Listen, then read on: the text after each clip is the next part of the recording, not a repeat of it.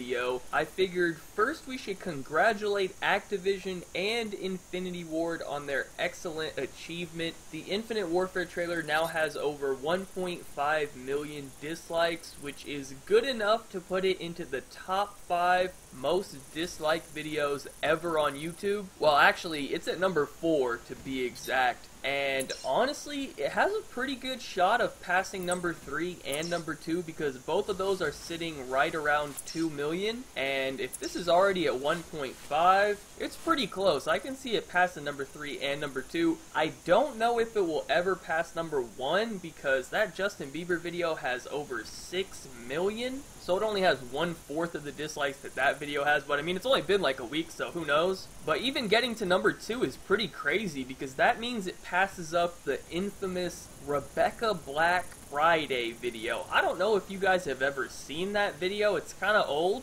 but it's pretty terrible. You know what? Here, I'll give you guys a little taste of it if you've never experienced Friday before. And her day was Thursday, Thursday, today yeah, it's Friday, Friday. So as you can tell, that is actually one of the worst music videos ever, if not probably actually the worst music video ever. But anyways, I just want to throw that little bit of information in the video because I don't want to keep making videos solely dedicated to that topic alone. Although if it ever becomes number one, I'll probably have to make another video talking about it. But I just wanted to update everyone on that whole situation. So anyways, let's go ahead and talk about this Trump rally, alright? So, I found this video because of the video I made a few days ago. You guys may or may not have seen it, but it was basically the one with the transgender, male, female, whatever the fuck that thing was. The dude who spit on the other guy, and then that other feminist came. It was, it was a whole thing. If you guys didn't watch the video, I'll give you a little sneak peek. Come back with some quotes, okay? You don't know. hey, this dude just. Hey, this dude just. tranny. I'm a tranny.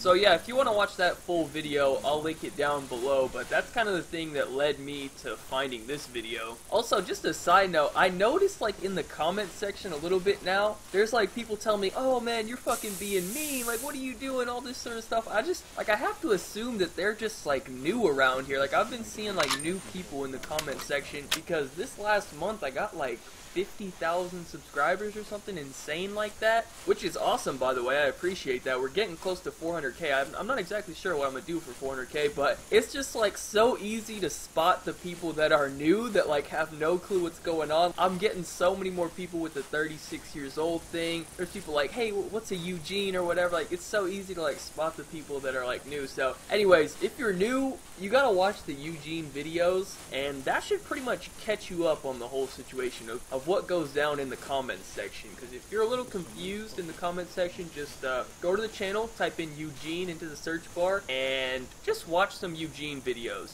But anyways, as I was saying, I found this legendary video right here, filmed in Tucson, Arizona. What the hell is going on over there in Arizona? Y'all gotta explain this, because this shit was out of control. Y'all gotta control these two manatees that are gonna be featured in this video right here. But anyways, Okay. there's not really much explaining to do for this clip. It pretty much explains itself, so let's go ahead and just play the clip.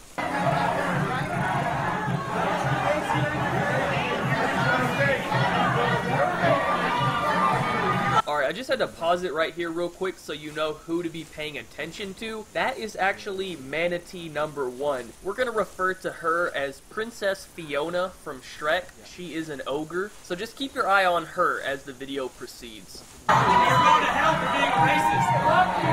Keep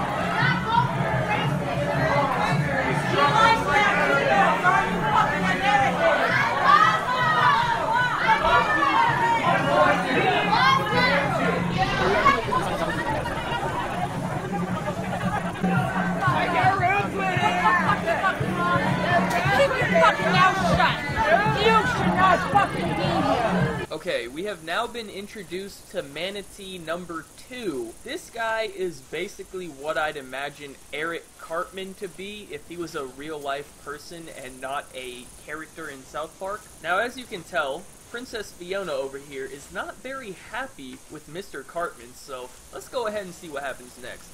You guys should. What are you gonna do? Hit a fucking wall? Here we go. Princess Fiona has already started it off. What are you gonna do? Hit a woman? I'm not quite sure you qualify as a woman, but we'll give you the benefit of the doubt. But what I'm more concerned with is why is this even being turned into a physical altercation? Why is that the first thing that comes to your mind? Oh, I'm gonna just do whatever I want to you, and what are you gonna do about it? Hit a woman? You can't do that. Like, why is that the first thought that comes to your mind? That really is so stupid, but if we actually break this situation down, honestly, this is kind of a fair fight. They're definitely in the same weight class, you know, they're both in the heavyweight division, and this is a grown ass woman and what I think is possibly a child. Like, if he told me he was like 16, I'd believe him. I don't know, he might be like 20 or something. But honestly, she seems like she can handle herself just fine. So this is just like if it was in the wild, in nature, just a fight between two fully grown manatees battling it out. So I don't really see a problem here. What are you gonna do? Bitch, I'm not gonna hit you. Bitch, I'm not gonna hit you. Bitch, I'm not gonna hit you. Bitch, I'm not gonna hit you. I'm ready, but I'm not gonna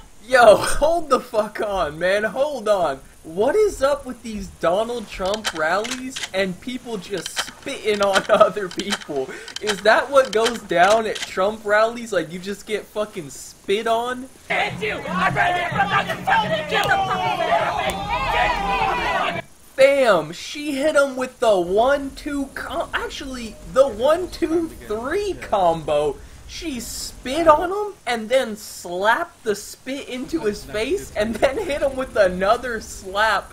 What the hell is actually going on here? Dude, I'm sorry. If you spit in my face and you slap me two times, that's it. We're squaring up. I don't give a fuck what you identify as. Although, to be fair, I probably wouldn't be in your face saying, hit me, bitch. Like, well, actually, to be even more fair, I would never be at a Trump rally in the first place. Although, actually, I might have to go to one now and just film all the weirdos. Like, is this what happens at every Trump rally? This is entertaining as fuck. I would love to see this live. But the point is simply this you spit in my face and then slap me twice, you're catching a Batista bomb. End of story. Bitch, I'm gonna be in your face you die, bitch. Till you die, bitch. I'm gonna be here till you die, bitch. My man said, I'm gonna be in your face until you die. What the hell? This guy is a certified psycho. What does that even mean? Does he want her to die right there in the Trump rally? What the fuck is going on here? If anything, this dude might be in danger of dying if he doesn't calm the fuck down. He looks like he's about three seconds away from having a heart attack. This dude really needs to relax. He can't be freaking out like this. Till you fucking die. Watch me, bitch. Watch me, bitch. Watch me. Watch me. Watch me. Watch me. Watch me, bitch. Hey, hey, go your separate ways. Go, your separate ways. Get the fuck, go out, man. Hey, Go fucking bitch. Watch me, bitch. go your separate ways. Everybody calm down. Yo, my dude is a fucking savage, man. He said, punch me, bitch. What the hell? I gotta put some respect on his name for that one. This dude is definitely crazy, but he might be a fucking real life savage, man. What the hell? This guy really don't give a fuck. But anyways, that was the end of the clip. You guys saw the cops come in and break it up. I'm not sure if they actually got in trouble for this or not. I guess the lady could have definitely gotten in trouble for spitting on him and slapping him and then trying to punch him at the end. So that's definitely assault right there. Although this guy was like kind of in her face saying punch me bitch and shit. So i don't know. That has to be something right? I don't think you can just go around and do that. So I don't, I don't know what the whole situation here is. I guess both of them probably just didn't get in trouble for it. But regardless these trump rallies are fucking insane fam. What kind of shit really goes down? Have any of you actually been to a trump rally? I guess most of y'all are probably young and you can't even vote yet so it doesn't matter. But if you've been to a trump rally let me know. Like is it really like this? Because this is fucking crazy. I don't know. These fools are on some wild shit. So anyways thank you guys all for watching be sure to like rating if you enjoyed. Subscribe if you are not already. Follow me on twitter. Links in description down below. Also check out the other trump rally vid. I linked it down below as well if you missed that one. Also in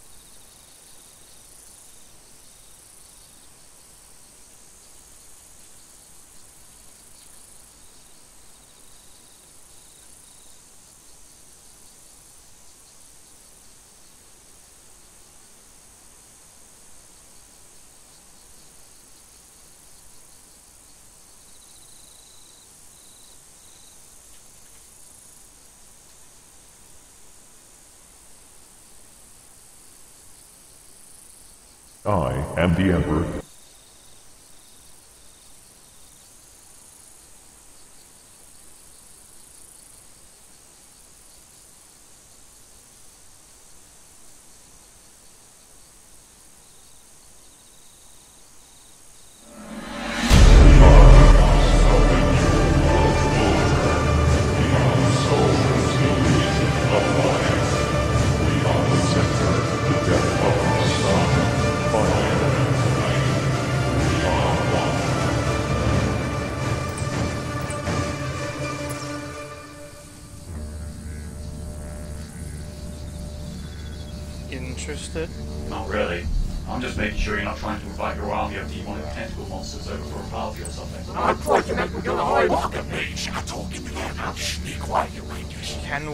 Please have a little bit of trust at this point?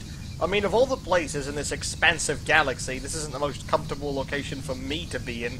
Besides, I'm not Fulgrim. So you're telling me that succulent food, a luxurious atmosphere, and an actual bed are less comfortable than the realm that is literally a collective seizure? Eh, if you had more mental capacity than a box of Grox manure, maybe you too would appreciate its own unique majesty. This assumes that I'm insane enough to want to. Nevertheless, just being here is a sign of trust in my lord, is it not? Eh, perhaps. Great. Damns.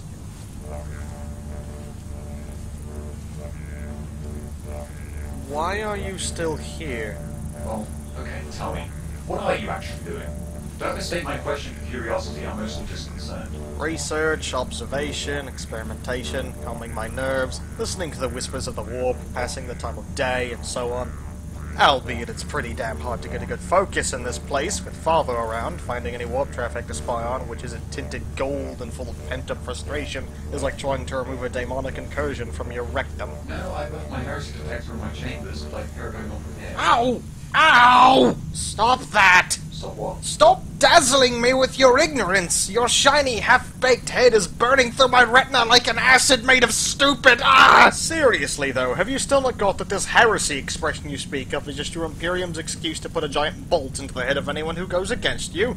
The Imperium is like a child in a my dad is better than your dad argument that received the right to kill anyone that attempts to argue back, you witless dildodes. Well, if you didn't make everything so, I don't know, diabolical, creepy, and straight up evil, maybe you wouldn't be such easy targets for both propaganda and a bolt shell to the forehead. I mean, you're not doing yourselves any favors by wearing the skin of your enemies, for example. For your information, I have never worn the skin of my enemies. Do I look like a Necron Flayer to you? To be fair, the Necrons in your Thousand Sons do have pretty similar motives nowadays. Yes, we've already sent the cease and desist order. They're just being ferocious plasteel dicks about it.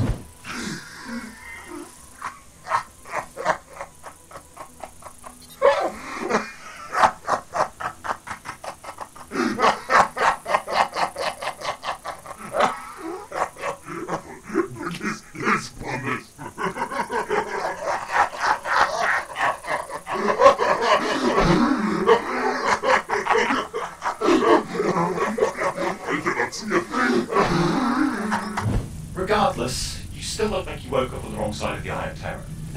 I do see where you're coming from. All the decapitated heads and giant spikes do make it look like we're compensating for one thing or another.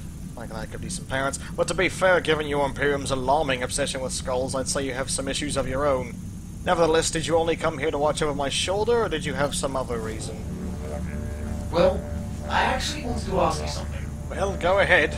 I'd break the monotony. I've been wondering. I've served my Emperor for somewhere around 11,000 years or so. I don't really keep track. And even though he's my, uh, our father, I don't actually know all that much about him besides what I've seen with my own eyes. Isn't that enough? Of course it is. After fighting this side and hearing his dreams for humanity, no sane man could not appreciate his majesty, wisdom, and might. Indirectly calling me insane now. Truly, he is the one and only worthy leader of mankind. But where did he come from? Did he have parents, or did he just, I don't know, crawl out of a gold deposit? Not that's a bad thing, of course. I'm sure it was the most glorious deposit in the world, and Oh, hungering for some crisp, luscious knowledge, are we? How fascinating. I thought you companions were specially trained to act as completely uninteresting impersonal automatons. well, truth be told, I think as time has gone by, most of us have either gone a bit into the cuckoo's nest or have managed to attain some uh, form of rationality. Actually, I'm the one exception. Everyone has completely lost their mind. Hey, kitten, want to go take a swim in the Promethean pools with us? No. Hey, be that way. As I was saying, I'd still follow the Emperor right into the Eye of Terror if he commanded it. I live for him, I follow his every word, and I never defy him. And I would happily give my life for him. But, well, there's the thing.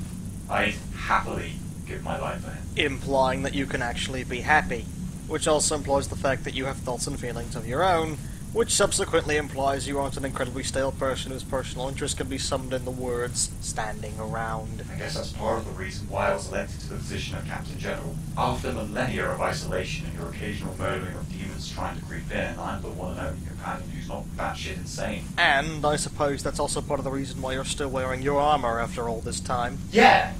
Or, uh, well, not all this time. Oh? I went through a phase. I can't say I'm particularly proud of it. Those loincloths really don't need much of the imagination, you know. Wait, they... I swear. Anyway, as you were asking. Ah, yes. The subject. Okay, I know he's been around pretty much as long as humanity has, and that he has gracefully guided us through all that, but... Did he make humanity in his image, or is he simply the guardian of our species? And if he made us, what made him? And if he didn't make us, what made us? Ah, the oldest question in human history. What are our origins?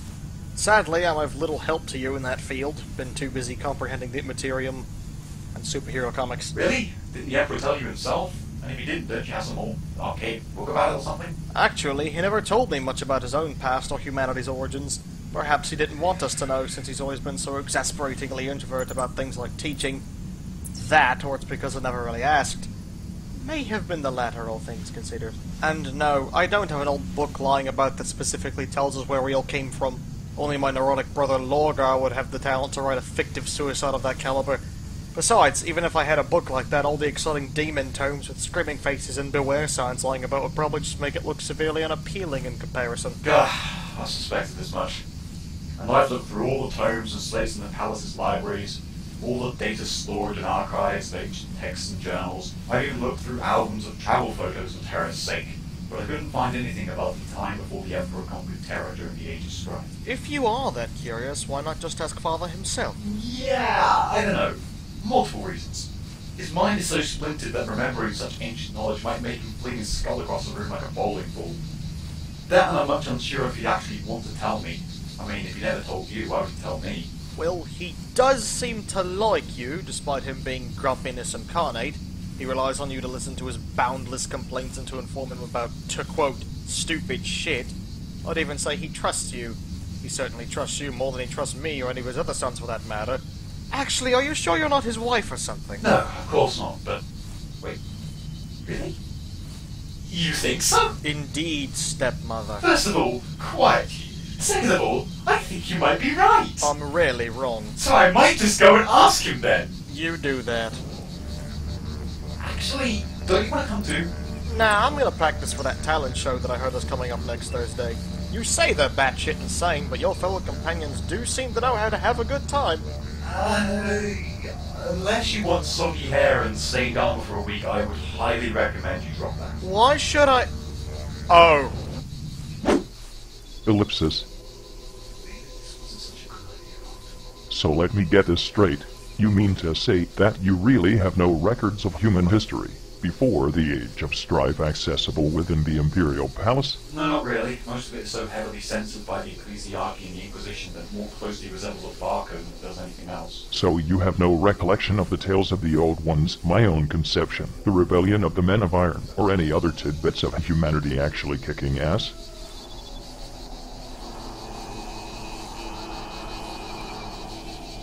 Incredible.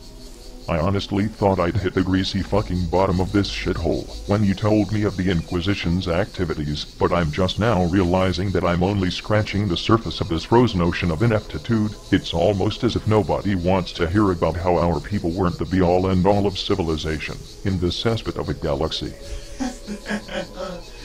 Um, yeah, funny that, isn't it? Right, this is something that I shall now unfuck post haste. Magnus, fetch some parchment and do what you do best. Take notes. Do not worry, I always have paper with me. What a fucking nerd you are. Anyway, I want you to write down everything I am about to tell you, and when I'm done, rewrite the whole damn thing as a grand historical document. Then I want you to start covering it in holy seals and shit, and then throw it into a pile of dirt for a while so it gets that shitty old paper look. That'll make stupid people think it's inherently trustworthy. Oh, and shiny britches? Yes, my lord? When Magnus finishes his chicken scratchings, I then want you to take this document to the scribes, have it proofed to make sure he doesn't sneak in any mimetic chaos bullshit, then have it mass produced and distributed all across the galaxy to all people of authority. I don't care if you literally need to ram it down their fucking throats, just make sure they read that shit and understand it. No spam box filter shall stop my glorious wisdom this time. Yes, my lord. Now, gather round children, for it is grand story time. Cue visuals.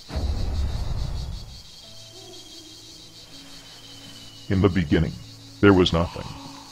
The nothingest nothing that has ever not existed. The nothing just kinda sat about and unexisted, not bothered by any such thing as existence or reality. There may have been some bits of heat energy floating about, but that shit doesn't count. Eventually, however, this frigid, lonely expanse of plot hole level nothing got sick of being nothing and decided to get a job. So all the energy bits sucked themselves into a ball smaller than the level of progress made since I was put on this overglorified Porto Potty lighthouse. Then, the energy exploded with the force of something that you'd compare giant fucking explosions to. There has never been, and never will be, an explosion as big as this one. It was so big that it's literally still happening right now. Wait, what caused the heat to compress and explode like that? I don't fucking know. Dark matter, plane walkers, precursors, a bunch of geeks with nothing better to do making a badass fictional universe for the purpose of inevitably selling inordinately expensive plastic miniatures? It could have been anything.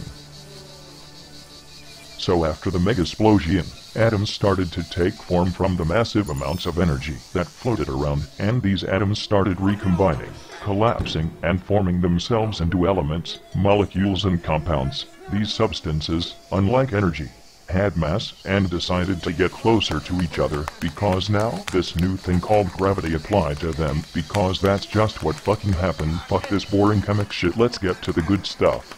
As matter formed into big lumps, these lumps became celestial formations. Stars, planets, nebulas, asteroids, comets. Eventually, due to conservation of energy and some weird chemical reactions, life eventually formed on these lumps of space crap. Supposedly, the first life that came about was a race of beings that became known as the Old Ones. The reason for this nickname is that they were the ultimate rulers of reality and evolution, and they were really fucking old, go figure. These beings are the shitty neglectful grandparents of all that is life. They evolved so damn hard that they eventually became spiritual entities, discovering the so-called realm of souls. As a side note, as you can see, they looked something like big, fat amphibians before they evolved into beings of pure power. So that's a lot of progress for a bunch of giant hyper-intelligent toadmen. Come to think of it, that sounds a lot like the administratum. Incomprehensibly powerful for almost no reason. Toadman you rose tin a typewriter with a fucking mouth. Anyway, they then decided to create other species for shits and giggles. Some said that they created all life after themselves, but I'm not so sure on that one. Perhaps they helped push the boat out, but they certainly didn't fucking build it. So these old ones didn't create humanity. That's what I just said, you hollow-headed ninny. Most life evolved in one way or another, and anyone who doesn't accept that is probably really, really, really drunk. Lorgar is going to have fun with this. Continuing on. Next to arrive were a bunch of floozy fucking milksops that you would recognize as the Eldar. Due to the fact that, early in their evolution, they reproduced like space rabbits, they actually ended up becoming the dominant race in the galaxy. The old ones were more like spread out singularities of imbalanced min-max hanging around here and there. But neither race really cared for each other, so they coexisted peacefully, one spreading like a pointy-eared plague, while the other pooped out orangutans, more frogmen, and races with unpronounceable names. But then, came the Necrontyr. That sounds familiar. Strap yourselves to something, because here comes the most obvious plot twist of the fucking century. The Necrontyr were salty assholes because they had evolved on a shitty, radiation blasted planet. They built underground cities that seriously looked like depressing tombs because their life sucked so much that they would rather wait out their own death than do much else. After years of being subservient to their animosity, like an entire race of entitled middle-aged people, they became envious of both the Old One's incredible powers and the Eldar's massive galaxy-spanning girth. Of course they were little more than an irritating bunch of self-pitying tearjerkers to such powerful races. Eventually, however, the spite of the Necrontyr became so mighty that they started hating all life in the galaxy, even themselves, and decided to start murdering literally everything. However, they soon realized that manually making sure every single grass straw on a planet was dead was really fucking tedious, so they started snooping around for something to make into a super weapon. That led to them finding a weird bunch of gas orbiting the super radioactive star that had turned their planet into the empire of atomic bombia. They suddenly noticed that the gas was feeding on the very energy of the star. It turned out that the gas was alive, but not in the same sense as other life forms, it had evolved in a whole different way, and was technically even older than the old ones.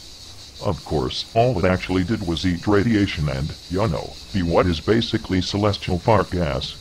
But of course, these assy necrondards just had to fuck with this peaceful, sun-eating anomaly. They proceeded to collect as many of these weird sentient gas clouds as they could find and forged bodies of living metal for them, because what isn't that the first idea that comes to your mind as well? They used the gas's own radiation-eating abilities to lure the dormant consciousnesses of them into the bodies they had made via the use of a bridge of starlight, or some pretentious shit like that. So after eons of peacefully orbiting stars and eating radiation, these beings which knew no other need than to drift around and consume were suddenly given incredibly powerful physical forms and hypercomputerized synthetic brains to give them all the knowledge the Necrontyr hearts had collectively acquired as you can guess, this went swimmingly for everyone involved. Wait. I think I can guess who these guys are now. Congratulations. These gas entities. They became the C'tan. And the Necrontyr became the Necrons? Give this man a PhD because that's some serious brain power for a giant armored potato chip.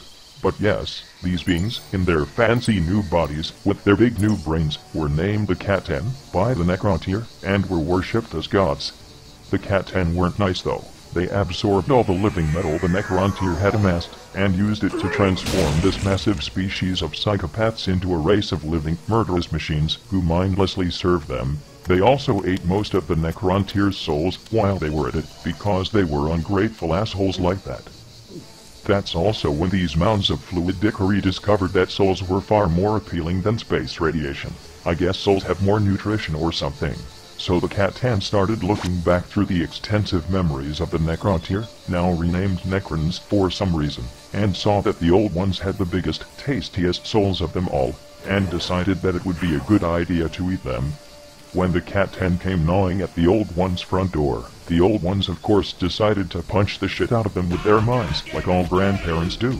But that's when they noticed that their psychic powers were useless against both them and the Necrons because they had no souls of their own. This started a massive galaxy-wide massacre of the old ones that went so far that they nearly became extinct. I guess you could say that the old ones got their life towed away from them. Ha ha ha ha ha ha ha ha ha ha. Seriously though, that's awful. Well, I guess the Necrons here got what they wanted in the end. Not quite. See, some of the old ones survived, and they decided that the only way to stop this imminent galactic doom is to fuck up in an equally as awful manner as the Necrontyr. Thus, they created a new race, one which could fight the soulless Necrons for them. A race with strange reality-bending powers fueled by crowd mentality instead of souls. A race that knew and desired only war and destruction.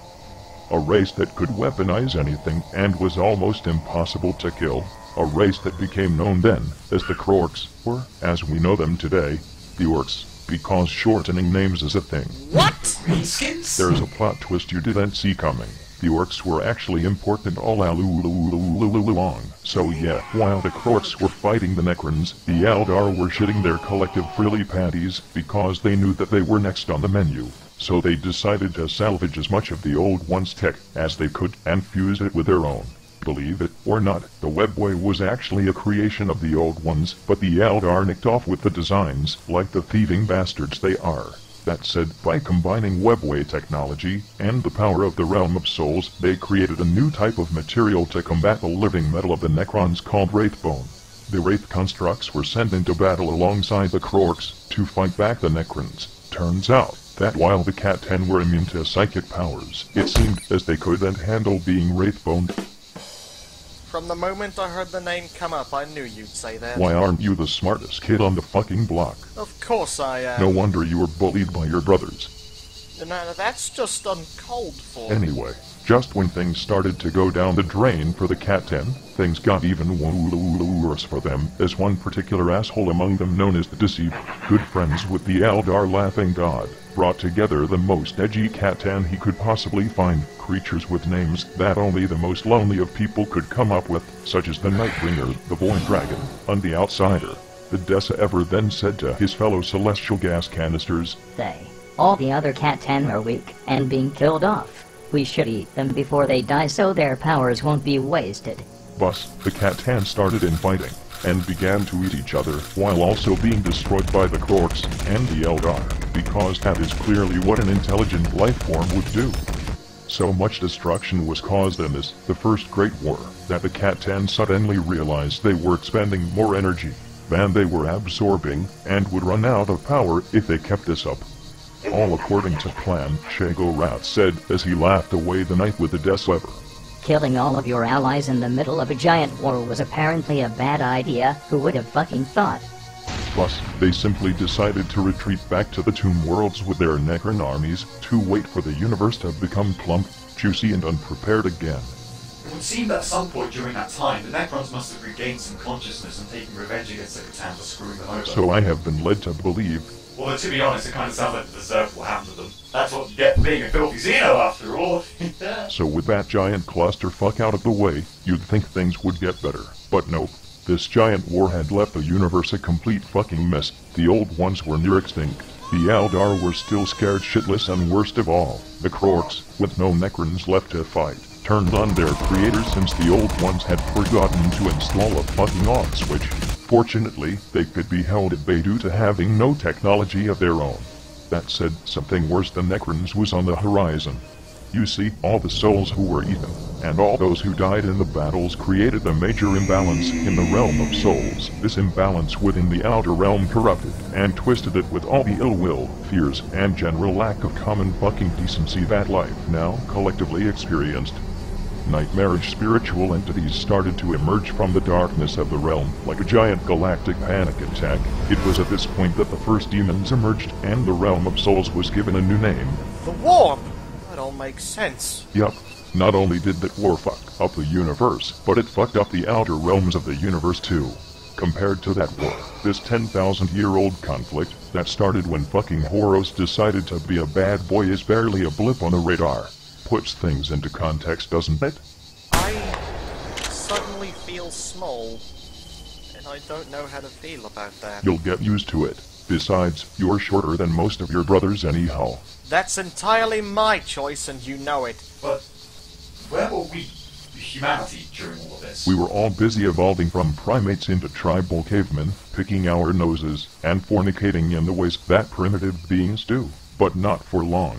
You see, warp storms caused by this huge war fucked the galaxy over. And additionally, demonic predators of the warp finished off most, if not all, of the remaining old ones. It's like some complete ass wipe suddenly invaded an old folks' home, demolished all their belongings, and subjected all old people to summary executions. And then another completely unrelated group came along and did the exact same thing all over again. The Eldar, realizing their own incredible fragility, decided fuck it. Literally. And so they did. Constantly.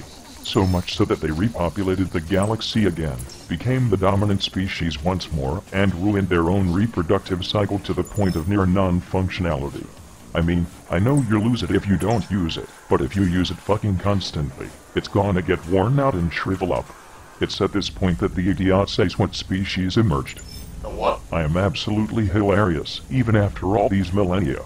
Oh, d- I still don't get it. So, actual humans finally started coming forth out of the evolutionary fuckfest at this point, and a handful of them gained psychic powers similar to that of other species carrying souls around.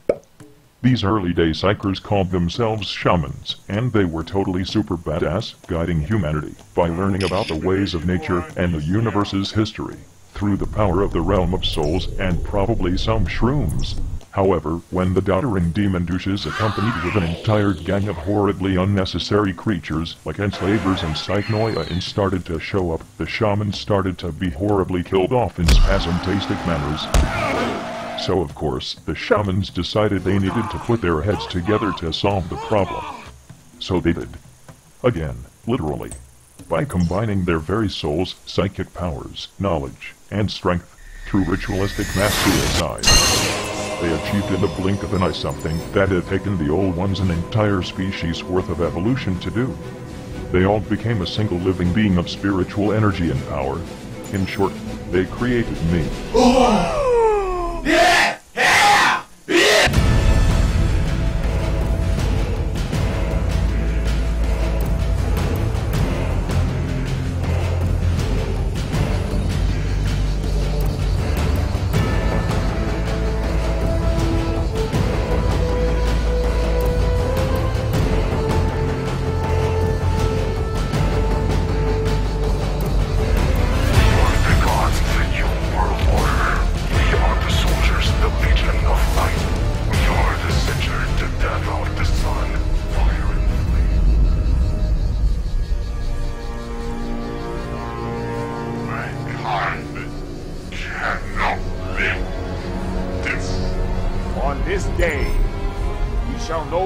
know our by the name that I shall give them.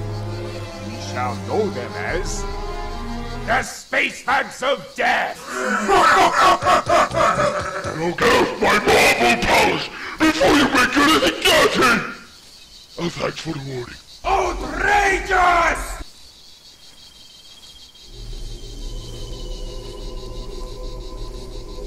Are you two done gawking yet? Almost. Just a second. Sign.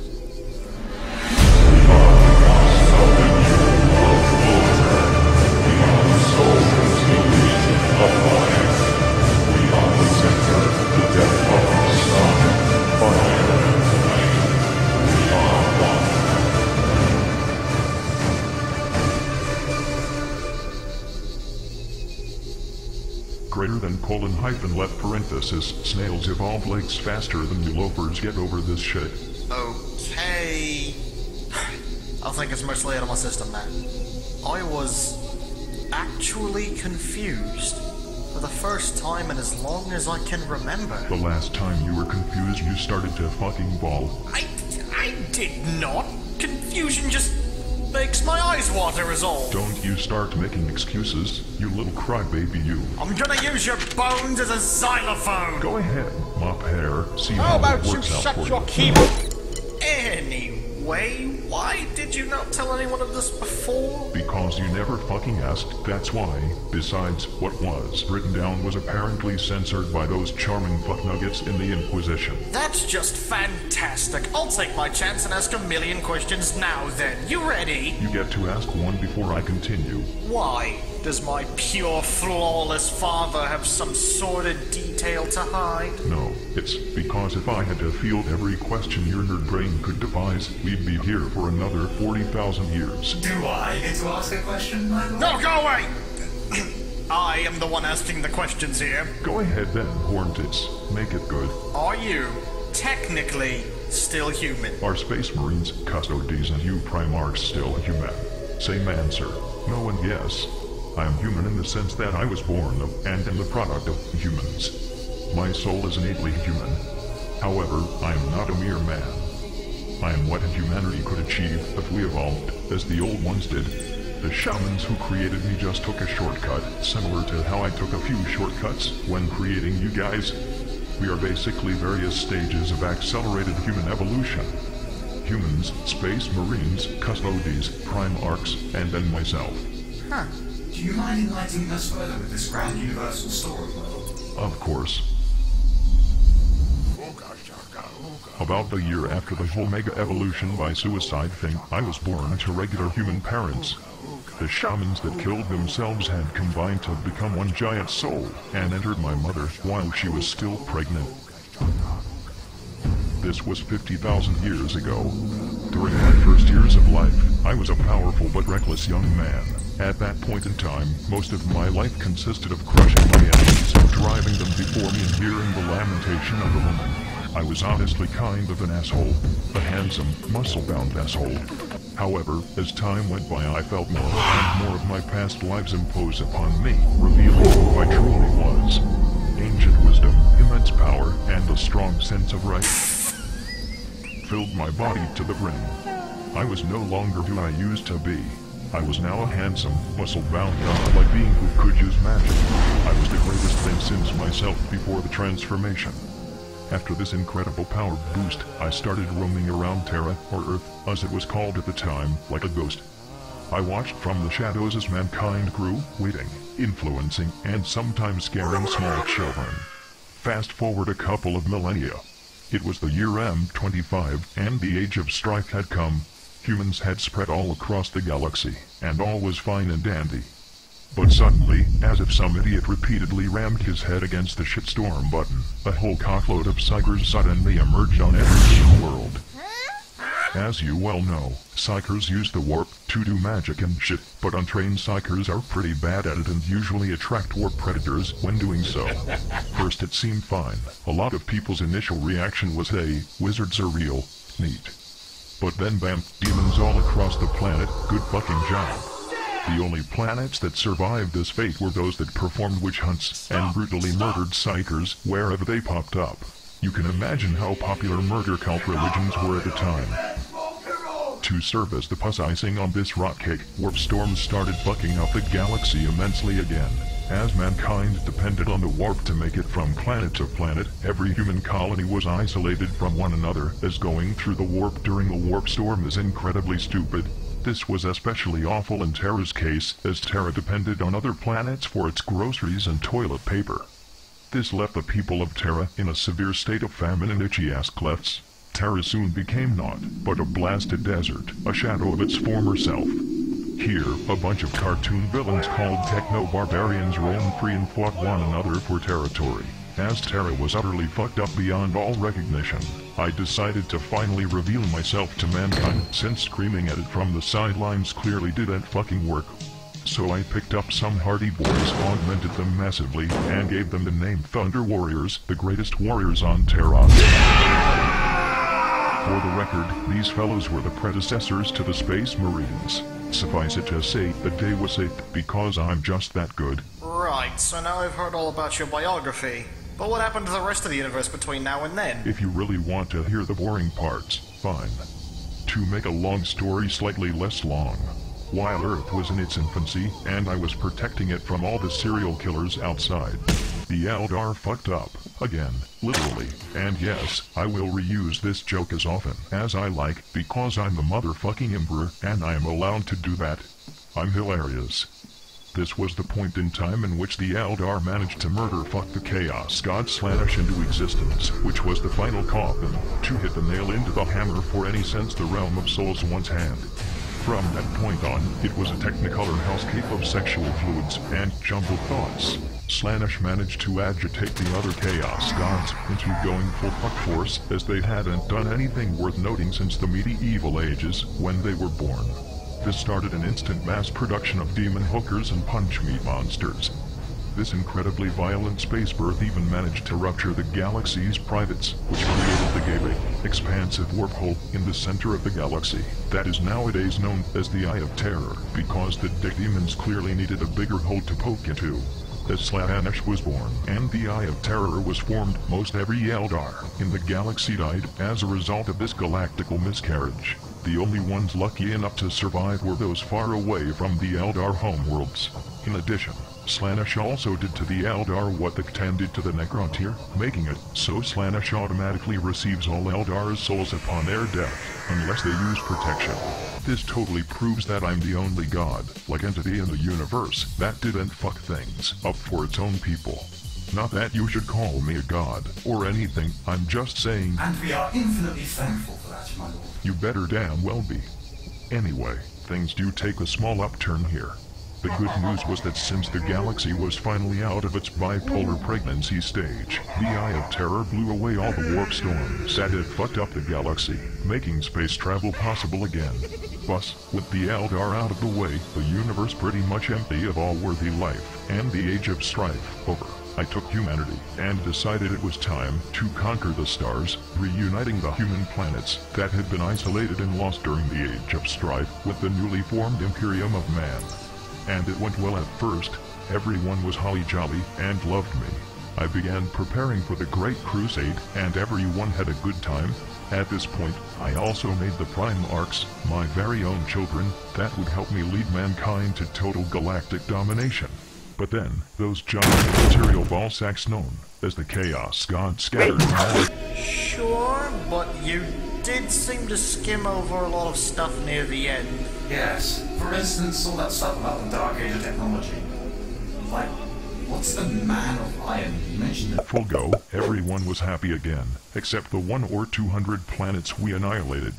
But as you know, fucking Horus's massive temper tantrum happened right after that. The rebellion happened, I was put on this throne. Most of my sons either disappeared or died. The entire Imperium shat its united long johns. That stupid age of apostasy happened, and those fucking Tyranids apparently showed up. Oh, and those town creatures too. But that is worth mentioning. It's not. And somewhere in the interim, the Eldar mostly split into two factions, one which wants their species to become great again, as if that will ever happen, and one which simply doesn't care about anything other than being disturbing little sweat goblins. And that's the how and why of humanity, the galaxy, and the gloomy fuckfest we're all invited to. You get all of that? Um, sure, but you did seem to skim over a lot of stuff near the end. Yes. For instance, all that stuff about the Dark Age of technology. Like, what's the Man of Iron? You mentioned him earlier. And what happened to the few surviving old ones? And what about those entity people that I just remembered are? While I enjoy filling your brain bowels with crap, I now have a massive super headache. I need to take a break. I guess the book could be published in two volumes for double the profit. I'll tell you about the dark age of technology and other stuff like that later. Also, what the flying fuck is a sensei? You know, your human descendants? You mean the descendants of the families of the shamans who gave their lives to form me? Isn't that like all of humanity? Not exactly what I meant. Good. I never liked Uncle Ragnar anyway.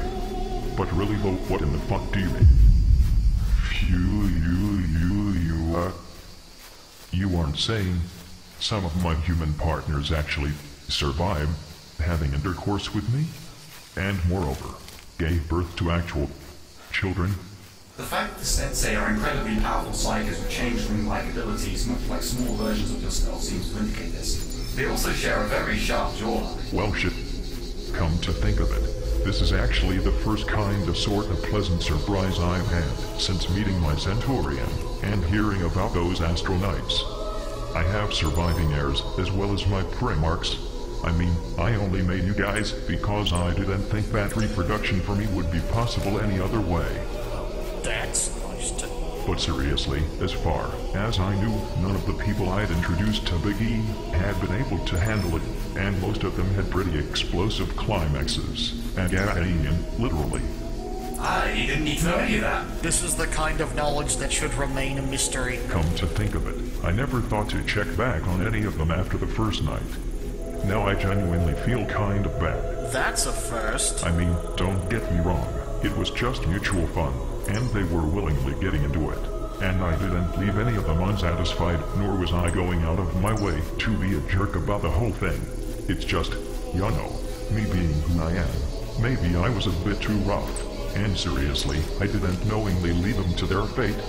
I just figured that with all those broken bones and all that blood and... La la la, I can't hear this. I don't want to be on this planet anymore. Sorry, I'm getting carried away. Sighed. It was my favorite bone. I sure do miss it. I'm just glad that... Oh. I'm just glad that I have no such urges or interests at all. My only desire is to serve you, my lord. That can easily be skewed in all the wrong ways. It's a good thing that shitty fanfic writers aren't anywhere near here. Don't jinx it, father. So, back to the new topic at hand. I presume these sensei people are basically treated like demigods by you plebeians? Either way, I want you to send someone to go out and find them for me, and bring as many of them here as possible. This should make the family reunion even better. Um. About that. You're going to tell me something that will make me pop a planet, aren't you? The Inquisition has been hunting them down and killing them as they see them as vile mutants and a threat to their Imperial canon. The rest seemingly vanished with no explanation before the Inquisitors could get to them.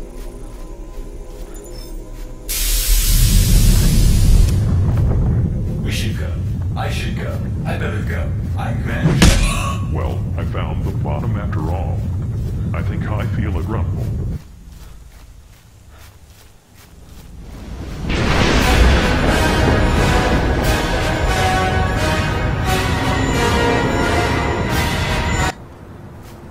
Sweet pepperoni with a side of bologna, warp storms. The planet reports that it'd be a beautifully smoggy day. Inquisitors, the time has come. We, the eternal archers of mankind, have come to lay waste to the foolish traitors that have infected and corrupted the very core of our Imperium. We are here to heed the call of our Emperor. We are here to save him. Remember our plans. Dispatch of their retinues and defense mechanics with all haste. Terra has the mightiest fortifications to ever exist, but we shall never give up. Our faith in the Emperor will break through any wall. Go! Charge!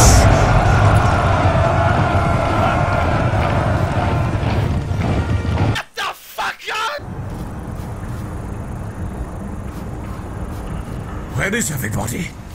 Why is no one attempting to stop our righteous crusade through Eternity Gate? Oh, maybe they went on a business trip together. That's what my parents did. And my second parents. And all my friends. And my dog. Well, I presume they are expecting us to enter into the Imperial Palace. When we do, I foresee they'll attack us with all they have. Soldiers, make ready! When we step through these once sacred doors, we'll be greeted with a vanguard of traitors like no other.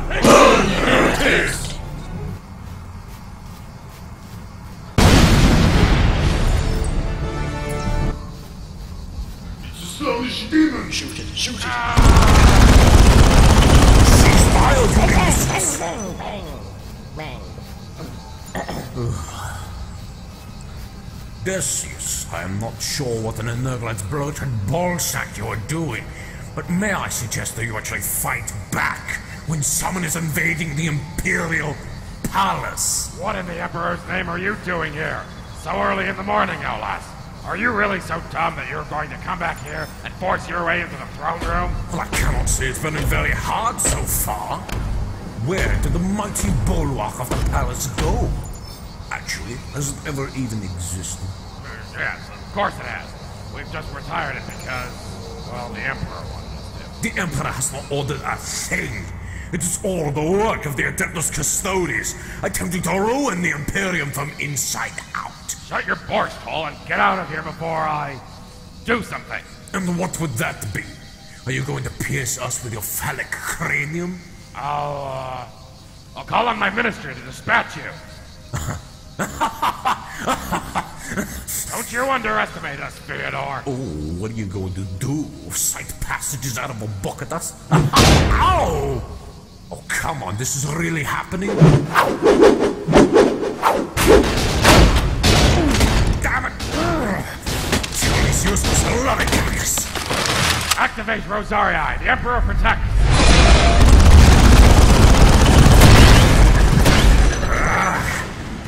My patience, Ecclesiarch! Soldiers, throw your grenades!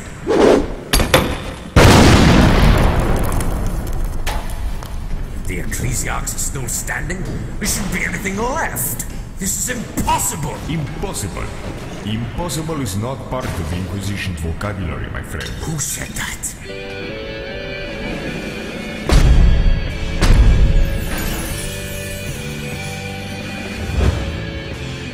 Lord Inquisitor Coteaz, Torquemada.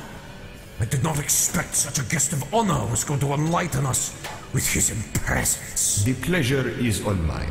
Could you possibly enlighten me to the situation that is at hand? We cannot get to this blasted line of Rosarius. We need to so we can get to the Emperor and save him from the traitorous Custodes that have taken him hostage. Order your men to stop their firing. I will show you my personal army belly. Operator, it is time. Do the, how you say it, funky monkey. We are driving the barrel. Press forward. Throw more things. Send these motherless bastards crawling back to their holes for the Emperor! Hey, uh, found a barrel. I haven't ever seen a barrel in the Imperial Palace before. Oh, what's in it? I don't found the abbess of the Adeptus Sororitas' secret vibrator stash. At long last! Not my arms! Mom? Dad? Is it really you? Monkeys? Really? That's the great secret of Coteaz, Torquemada? Yes, what about them? I am, well, to say the least, unimpressed. Actually, I'd go as far to say I think I just lost all my respect for you. Why don't you step off that overglorified porta potty you call a throne of judgment and say that to my face? Or are you going to have your deep fryer kill me for doing your job better than you? Oh no, I would not want to rid you on the off chance to die on the old folks' planet where you belong.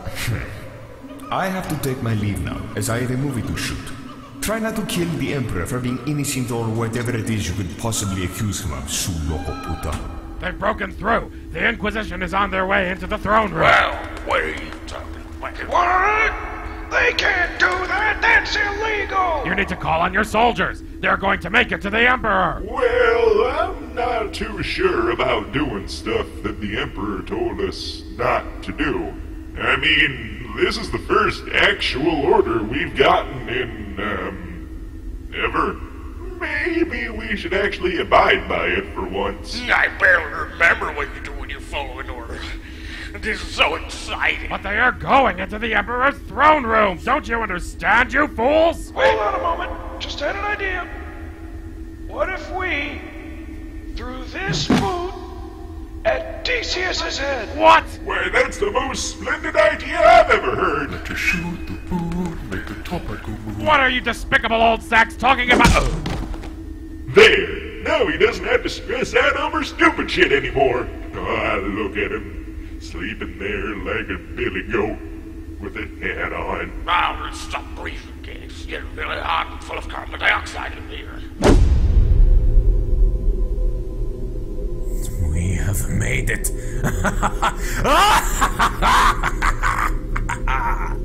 we made it! Now, soldiers, behind these doors await the most hefty and Herculean enemies that we shall ever face. You must all prepare yourselves for the most grueling, frightful, but glorious battle to ever take place. Come on, Skildor, you already held like two speeches about preparing ourselves, and both of the times nothing actually happened. Be quiet, Dominique! But fine, we'll just open the door, you whining bunch of.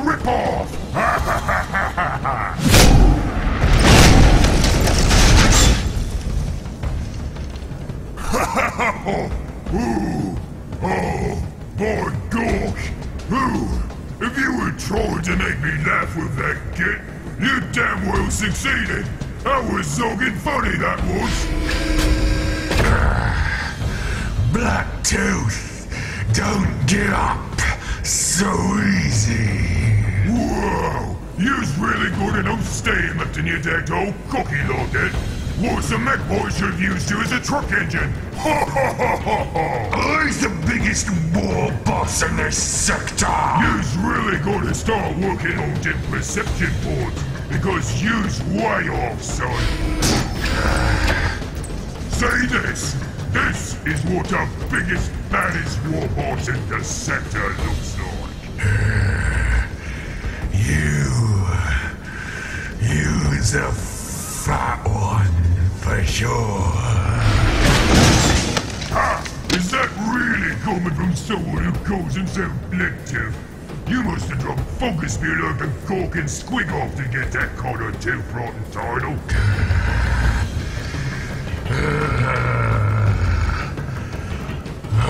What do you want from me?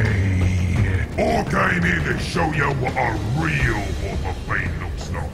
And now that you've seen it, maybe it's time for you to be enlightened by Gork and Mork as well,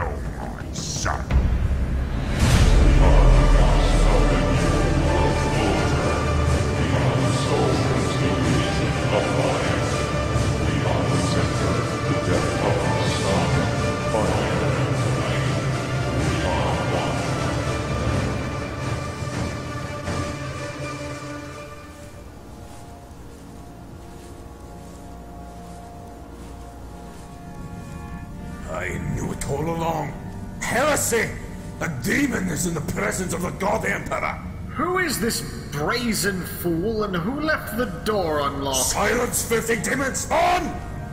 I, Fyodor Karamazov, of the God Emperor's Holy Inquisition, has seen through your devious plan. I'm not sure you understand. have come here to banish you back from whence you came, destroy all that you have corrupted, and reform the Imperium with the God Emperor as our very witness.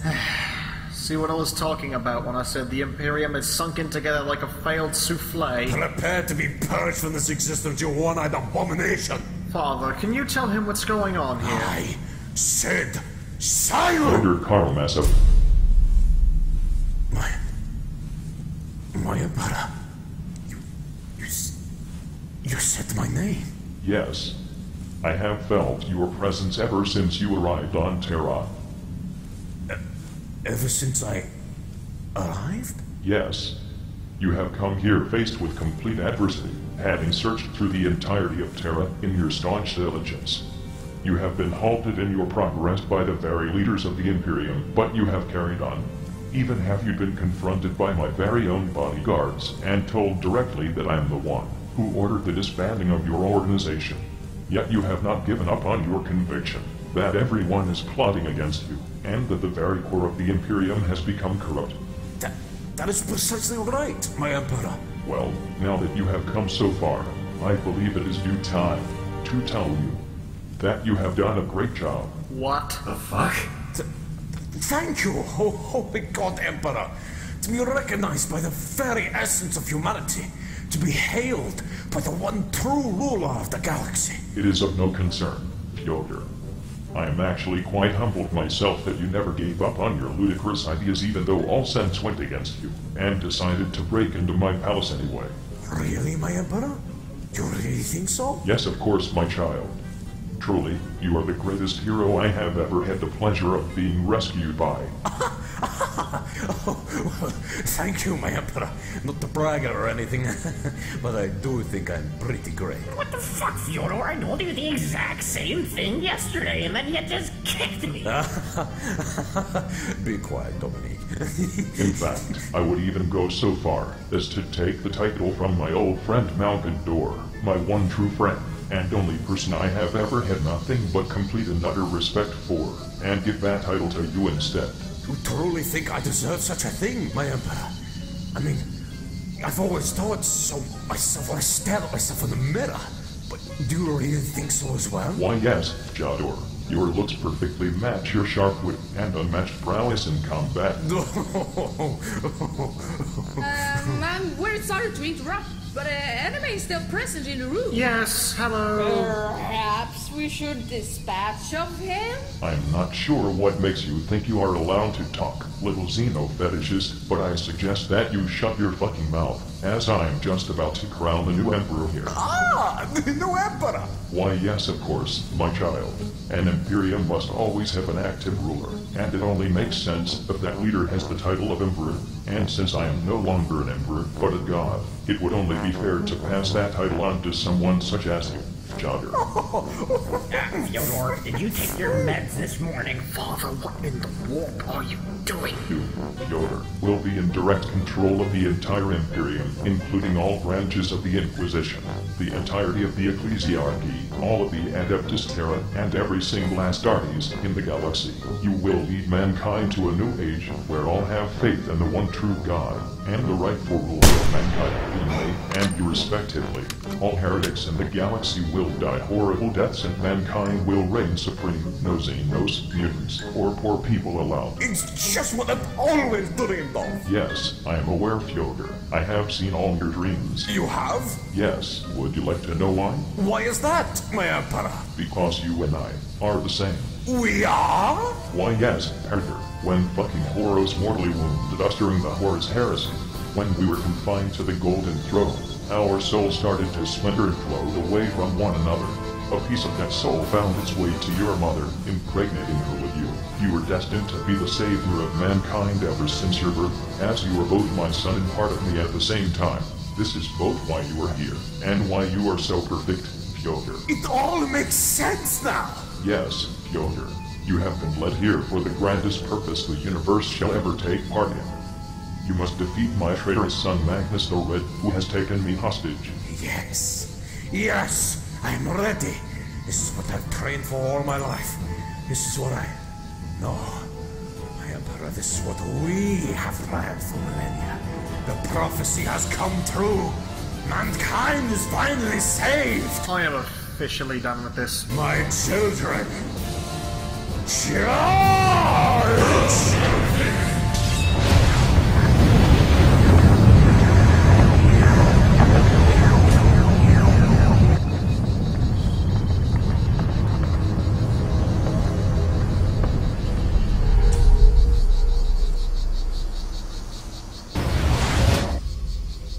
Father, what was that all about? I haven't experienced such sublime Schadenfreude since I burned the last church of Terra.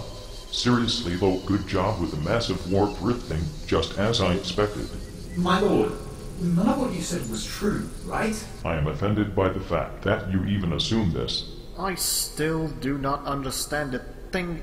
Why were they even here? Well, a while ago I decreed the disbanding of the Inquisition and the Ecclesiarchy because they were fucking stupid and completely went against what the secular imperium I invented 10,000 years ago stood for. What, really? That is. Um. Well, I cannot say it sounds like the best idea you ever had. Don't worry, it totally is, because as a result of my masterful planning, you just sent the worst parts of the Inquisition straight into the bowels of the warp. Oh. So. This was. You actually speak.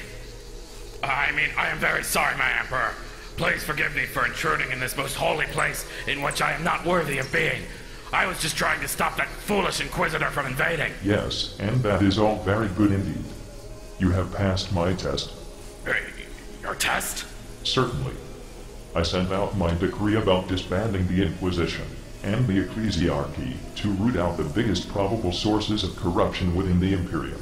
To see that you, the primary ruler of the Adeptus Ministorum, decided to keep yourself loyal instead of going batshit crazy and burning shitloads of houses in response to my decree as a sign that you and your organization might be. I am not worthy of being. I was just trying to stop that foolish Inquisitor from invading. Yes, and that is all very good indeed. You have passed my test. Uh, Your test? Certainly. I sent out my decree about disbanding the Inquisition and the Ecclesiarchy to root out the biggest probable sources of corruption within the Imperium. To see the primary ruler of the Adeptus Ministorum, decided to keep yourself loyal instead of going batshit crazy and burning shitloads of houses in response to my decree as a sign that you and your organization might be salvageable. My lord, I don't understand. Salvageable? Have we gone against your will? You better believe you fucking have. I specifically stated that I never wanted to be worshipped as a god 10,000 years ago. The book that you preach from is actually written by my son Lorgar, who just happens to be what you people would call a giant fucking heretic. Oh. Oh. Oh, my emperor. Is this true? I'm sorry to tell you this, but your entire life and your whole organization is based around lies and deceit.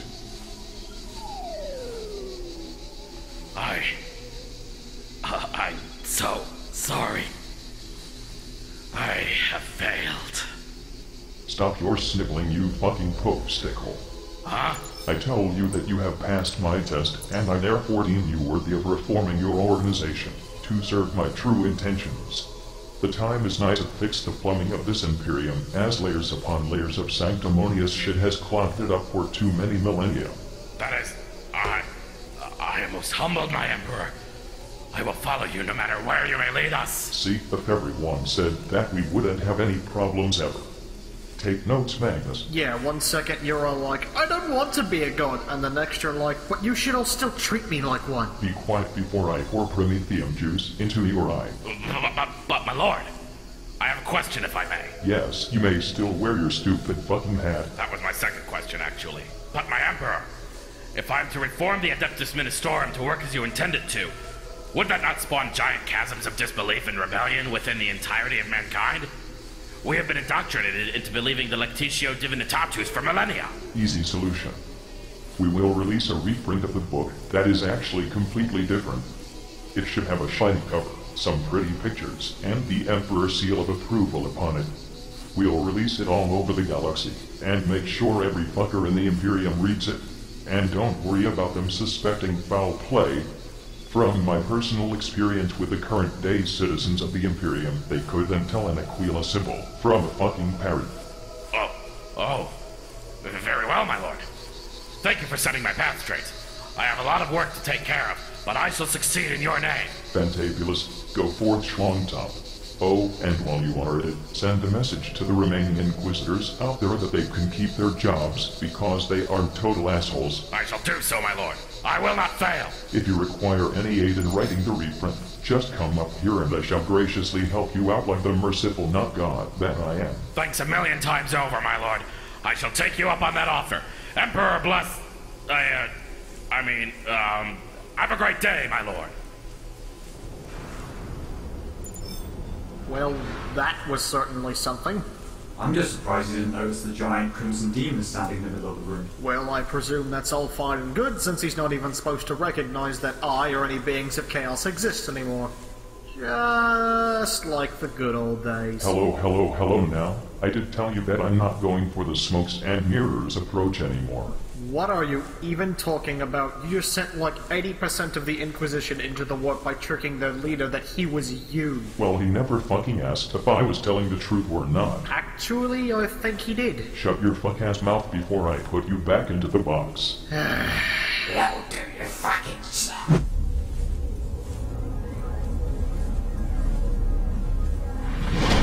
Ah.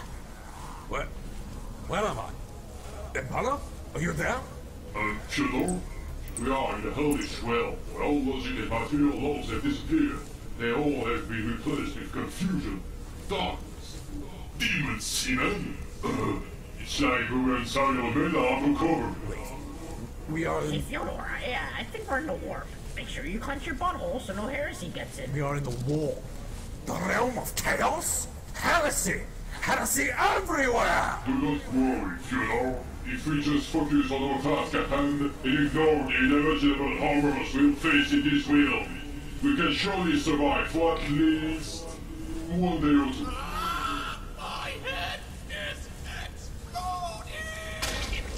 Now that's just fantastic. All of our troops are dying. Hey, Dominic, are you dying? Are you kidding? I've never felt more alive. This is just like what I'm doing to the spook. Oh, this is but a minor setback. Shall come and reunite with the Emperor, my father and myself. No demonic realm shall stop me from fulfilling my fate. Greeterlings! What? Demon? No... That is a good-looking beard you have there, sir! I too have a beard. Have you seen my beard? It is full of tiny men. Please, kill them all!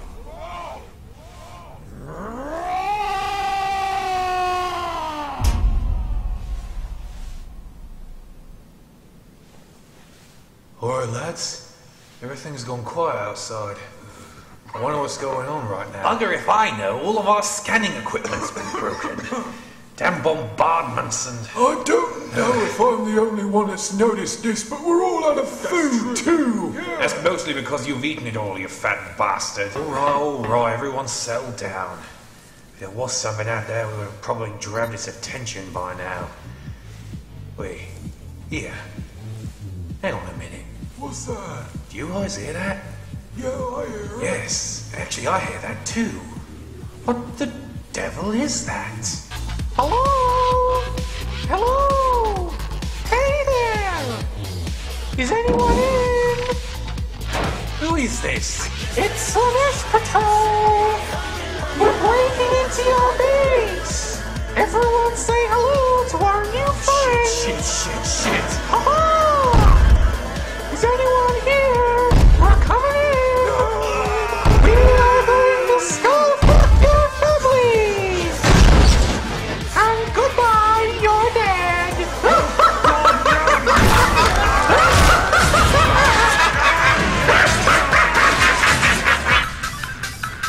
Hmm, Now, who could that be?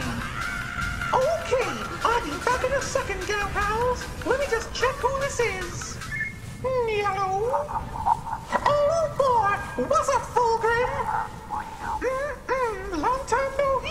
Sexy self. Yeah, I'm good. How about you? Great to hear, darling. Uh-huh. Oh, is that so? He's there too? Well, why don't you put the cutie on? Happy! How are you doing? Dominant as always. I like it. Mm, yeah. Ooh, you're holding another one of your huge patties? Oh boy, I'd love to come. Uh, no, no, I don't have any plans around that time. So, it's a date. Hmm? I'll see you there, handsome. Could you put back on? Thank you. Hello. Yeah, I got the message. So I guess I'll see you there. Love you too. Bye. Hey,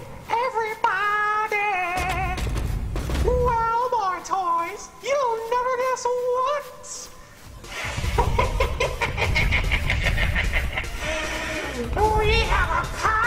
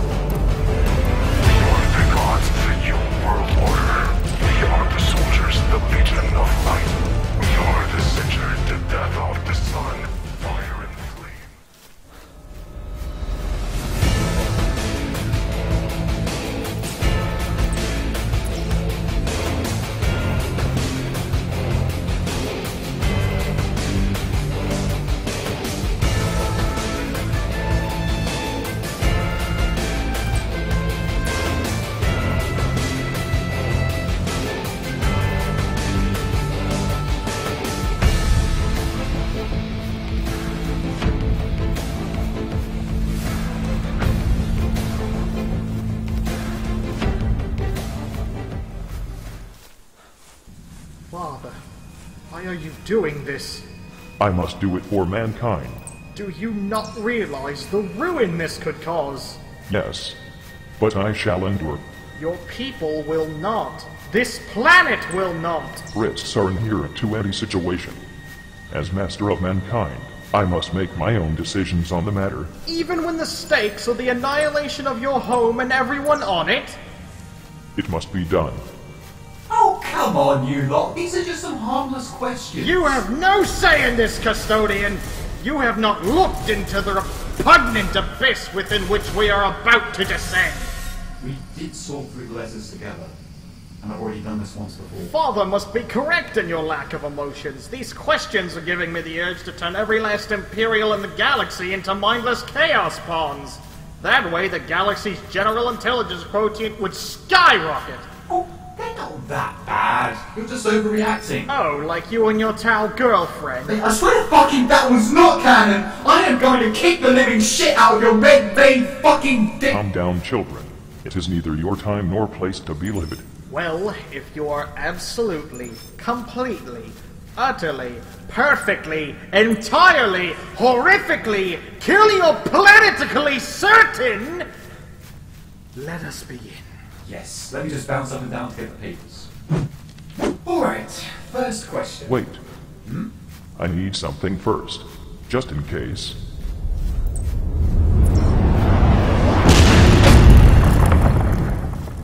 That is better. You little centaur bear will be my life buoy in the sea of hate and disgust. First question's from someone called Thyron. Thyron. Thyron. Uh, oh, great savior of mankind. I encroach on thy busy mind with a question of utmost importance to my mind. Didst thou, in all thy wiseness and foresight, not foresee the great heresy by the arc-traitor he whose name I won't speak? Well, how the fuck did he know that? I eagerly await thy reply, but I must go now, lest the overseer punish me for not sorting through the cactuses in the Lord Governor's garden. Faithful yours, Arm. Time. Is he a time traveling scribe or just dyslexic? That is beside the point. Answer the question. This is amongst the few good ones. Since I am constantly several void whales ahead of anyone else, I am certain I did. But as I have said before, my memory is as fractured as the self-esteem of an overweight Eldar. But I think my expansive knowledge of all that is, is still out there, somewhere.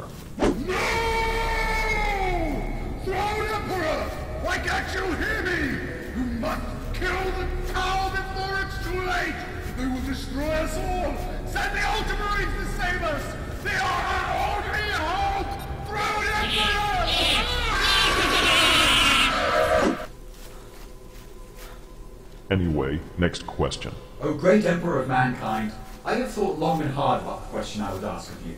About what a tiny, short-lived, insignificant speck like myself would ask of you, the pinnacle of man. Our most wise, benevolent, and self-sacrificing Emperor, truly you are the most compassionate, empathetic being to have ever existed. You have seen us grow, guided us in our darkest hour, helpless as horrors beyond all decency and sense have plagued us. Surely you have seen the these and watched as we gleefully continue to fling ourselves into abandon. Of our own will, with no care to harm we cause. Surely it must break your heart. O great man emperor, witness to our greatest of glories and deepest shames, I have thought long and hard over what I would dare ask thee. Why do you still love us? Why do you still even care? Respectfully, your humble servant. My ass must taste of ground beef and rainbows if it is that delicious because I would not be surprised if it does, He does have a very good point. Why do you care? because I see immense potential in mankind. I cannot even comprehend that, honestly. Maybe it's because I've been in the war for a better part of 10,000 years, but I just see a squabbling herd of animals. I want you to imagine this. Hello there, what is going on? Imagine thousands upon thousands of angelic beings reminiscent of me in my prime. Oh. All united in a peaceful galaxy, in an interstellar imperium where all individuals have attained their own objective perfection. Oh. Without war nor political turbulence, they all lay naked upon a beautiful beach planet, reveling in the ecstasies of human life, and really fucking good hair. Ah. That is what I want for mankind to turn us all into an entire species of divine masterminds with giant gold-coated abs, just like him. I can't take it! Sorry, I'll take my leave. well, that all sounds like extremely wishful thinking. No, the potential exists. I made you Primarchs, remember. Yes, but we were a very special case, were we not? Of course you are special, my little Magni Magic, but that does not mean you are anything more than part of a failed batch. What? Next question, please. Uh, um, this one's from Matthew. To the true man emperor of mankind, why is everything in the Imperium painted gold? Because gold is given to those in first place. Every lesser color is relegated to contestants who cannot keep up because of how much Xenocock they suck. Mankind rules. Another one related to the gold. From Kane the Governator. Dear Emperor, I am fascinated by the amounts of gold you seem to have in your possession, and I would like to inquire about where did you find so much? You see, I am ruling over a world, and I am considering about making investments gold plating all of my PDF armors to make them more impressive when they perform their crowd control duty against the disgusting populace. Because what fun is there in being wealthy and powerful if you don't use these assets to show off how much better and superior you are than the masses of uncultured plebeians? I'm sure you can relate to such empowering sensation. I don't know how. I don't know how he would laugh if he'd written it down. Maybe he'd go. Later on, I want you to send an explicit order to the Department Domani Tongram to replace this scrote snake's every order with rusted copper and glitter glue. Next. This one is from CZP Rothon. My Emperor, have you ever considered how much of a dick you were towards Magnus pre and during the Horus Heresy? After Ullanor and then onwards to Nicaea? And even after that? I mean, have you ever tried to get some help with how to treat your children? Is it enough that they had to grow up without you? You were wrote this one, did you not? As a matter of fact, I did not. This person just seems very logical. Pretty sure you did. No, I did not. Yeah, you totally did. No. Yes. Answer it, damn you! I did all I could to prevent you from killing each other out of spite. What great father would not? Good parents do not have children killing each other out of spite. It was mostly because the planets you were raised upon were so gormlessly different that you had been force-fed radically disparate ideals since your birth. So you're blaming on dead adoptive parents now? Mostly the spectral shit stains that put you up for adoption to begin with. Well, could still have spent more quality time with us. Shut up, I am answering questions here. From an English bee. O mighty Emperor, I have a query which has deeply troubled me in my creed. Is your glorious self a bloody necrophiliac, with all unhealthy amounts of skulls and all? It is to show that even in its barest form, humanity is beautiful. Have you seen how majestically my cranium curves between my parietals? It is amazing and something that binds us all together. My glorious Emperor, does your penis still function? Would you bang a towel if so? By the sounds of things, they'd be too scared to even let me go near them with my enormous fiery great sword. Next. So, Emperor, you ever skip on leg day? Fuck you. My Lord Emperor, why doesn't she love me back? If said individual does not respond to your advances, then stop wasting your precious life blood on her, Sonny. Take it from someone who probably ravaged her great great great great great great great great great great great great great grandmother. She is not worth your time. Here is a question from someone called, uh. Carl the Deranged. Oh goodness no. Dear Golden Shitbagger, it's me, your previous chef. Are you in pain? I fucking hope so, you cunt.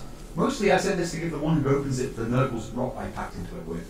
Go and collate another priest, you piece of decomposing garbage. You are atrocious at sorting these. Isn't this the most deadly disease in the galaxy? Just refrain from breathing through your nose and you should be fine. This still smells better than the spaghetti he cooked for me. From Joe Argento. O glorious Emperor of mankind, out of all the Chaos Gods and the douchebag deities that threaten the Imperium, which one pisses you off the most? That is like asking what kind of brain cancer I prefer. I am too busy frothing and screaming to be able to answer. This question is apparently from a piece of your lost soul, my lord. O glorious vessel of our splittered soul, have you yet asked about what happened to the armor you wore during our duel with fucking Horus? Thank you, glorious Space Emperor. Your question is grand, just like you. And I do actually remember. For when we were lying around dying after the duel, we lied there and listed off a couple hundred things those present needed to do if we were to die. Amongst those, I told them to pulverize our armor and incorporate the fragments into Crux Terminatus badges. Why, though? That sounds like an incredibly nonsensical thing to order when you're in need of urgent medical attention. It was honestly a heat of the moment thing. Like, do you know when you are feeling extremely erogenous in bed, and you smack whoever is with you across the face just to see if it feels good? You need to cease and desist right now. Next questions! This one is from Elthas the Inheritor. Hey, Corpse Emperor. Fuck you.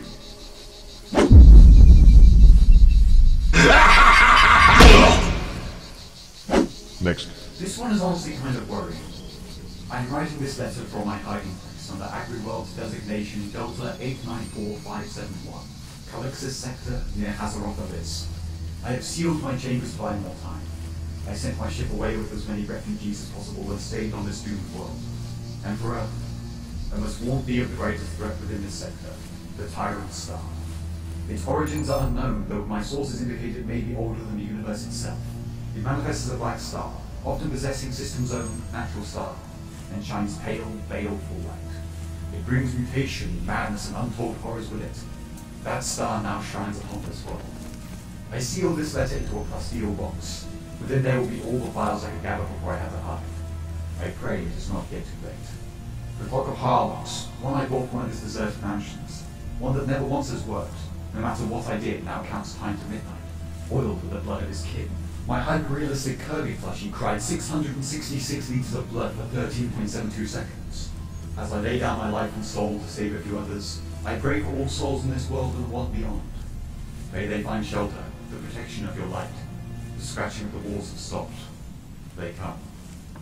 That sounds awful. How is anyone going to get 8M if the sun is black? Do you know anything about this atrocity, Banadian? I have heard of it. It appears out of nowhere and hovers above planets, bringing anarchy and mutation in its wake. A prophetic manuscript called the Hereticus Tenebrae mentions that it is the harbinger of an encroaching darkness. I am naturally not all too into the subject at hand, but this totally sounds like that plus vertebrate Malal. Eh, Malal does not even exist. I know. Maybe that black sun is actually a reality peephole out of his prison of non-existence. Goodness me, do you think he could break free and cause havoc? Hell no. He is an absolute pushover. He probably wrote that prophecy manuscript himself to make it seem like he is an actual threat. When I get out of here, I will be the greatest Chaos God ever. I'll fuck them all up. Just you wait. I will become relevant again. Malal, just stop. You just can't keep doing this to yourself. Stop telling me. I will become Kevin. I will. I will. I will. Come, I'll make you some hot chocolate. I'd like that. There, there, Malal. There, there. This one appears to be made Give me that. This one's from some feral worlder named Dorvuzak Uz Uz Dorvuzak. Oh mighty Emperor, savior of all mankind. Please, do answer me this simple question. What is exactly a fucking man of iron? Imagine a tech priest, but completely mechanical, and absolutely mind-fuckingly dedicated to destroying all human life in the entirety of the galaxy, never ceasing to pursue even the slightest trace of human life until it gets gunned down by a Volkite weapon or run over by a massive rolling pin. I would continue to explain more, but the war against the sentient machines lasted for such a short period of time that it is not as important as everyone seems to think. Mr. Imp, do Indian people still exist? What about Arabs? For fuck's sake, why does everyone forget about Dolarn? They've done some good shit, and then their model line gets discontinued because nobody wanted to buy anything that didn't look like Starship Troopers or the offspring of Apis drinking survivalist and a speech-impaired boxer. What the fuck are you talking about? Fourth degree interdimensional warfare. Next. From Yellow Snowman, may I lick one's holy toes? Immediate restraining order.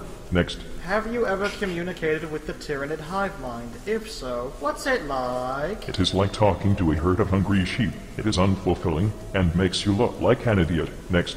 Dear fast food franchise. Oh no. I hope this letter reaches you. The burger I ordered got cold after I got home. Replace it for me. Centurion! Yea. Pure love. Nevertheless, I am happy you two idiots do not work for an actual post office. Let's continue. Why does everyone hate Eldar so much? Maybe if they were not so far up their own asses their lower intestines resembled life-size plastic casts, I would not want to spank the living shit out of their pointed ass cheeks. That and a couple other reasons which are beside the point. And then she says, Oh, I'm not going to tell you how to prevent this impending doom which threatens us both. tell me about it. From Gilgamesh Aurora. Oh my fabulous Emperor! I found the heresy. Where do I put it? Shove it in your face and choke on it. Next. Here's one from an Inquisitor, Amberley Vail. Do you have Alpha Ciaphas Cain, or is he just unlucky and or a source for entertainment for the Chaos Gods? He is one I have actually perceived visions of during my hours of silence. Ciaphas Cain was one of a select few individuals in the Imperium, whom I felt had enough common sense to survive whatever the Chaos Gods threw at him. This is more than I can say for most people who served me. Also, check his data slate the next time you see him, to his rate, but three as a crowd. Ah ha ha ha. An arbitrator, Judge Modestus. He says, Dear Emperor, what are we going to do with all the Adeptus Sororitas laying around? Now that you've directly reformed the ecclesiarchy into a non-religious sect, doesn't that mean the sororitas will no longer have any power from their now heretical faith? They're about as effective as power-armored nuns without worshipping you as a god. I bring this up because I don't have enough barlights to keep them out of the local taverns, bars, and pubs. We will be out of alcohol in mere months at this rate, and the combined weight of sisters abandoning the shrines to drown their sorrows will collapse the hives on several planets. They need to calm the tits down. If my wish was for anyone to not continue fighting against chaos contrivances and the like, my fragments would probably not have given them the strength to do so. Order the sorry to send whoever else to get back out there and fight in my name. Tell them that if they do, I will send out special edition Emperor's Sunside vacation pinups for their enjoyment. If their faith in humanity is so lacking that they leave me out of its category, let them be enlightened by what perfect fucking pecs humanity and humanity alone can grace the galaxy with. Our next message is from... him. The Millennial. Oh, that guy. Who? Hey, Emps. I've been out here leading the Alpha Crusade for a while, and a guy from the Flesh Tearers keeps saying that he hopes some guy called Sanguinor will help us. From what he described, and from what I've read, the Sanguinor sounds like your son Sanguinius. Just wondering, is it really him after all those years? I was there when my son died. I saw his body, felt no life from his flesh. Whatever fucking Horus had done to him, he could not be brought back. Sniff. If the Sanguinor is really even a fragment of the only one of my children that laid his life down for me, hopefully he knows that Daddy misses him very much. Sniff, sniff. Sob. Yay. Well, Father, did you get what you wanted out of this? Yes, this put me more into balance, and the time I surfed a space hulk in the warp and smashed it right into one of Tzeentch's crystal garden planets. You did what? What do you want me to do with the rest of the letters, my lord? Keep them around. The last thing I want is more questions to be turned into some little kid space marine costume when some random adept is sent to manage the pile. That's how it is, isn't it? Always having other people do the dirty work for you. I mean, it's not like he can fucking move or anything, Magnus. Oh, wait! You need to shut your face, Richard Lyon. Why do you tell me to shut up all the time? You keep complaining despite you having the fucking mane of a great beast. Rabble, rabble, rabble, rabble, rabble, rabble. The